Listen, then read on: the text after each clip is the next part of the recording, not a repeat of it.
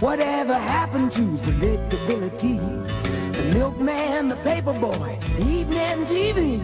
You miss your old familiar friends, but waiting just around the bend. Everywhere you look, everywhere there's a heart, there's a heart. Hold on to. Everywhere you look, everywhere there's of someone.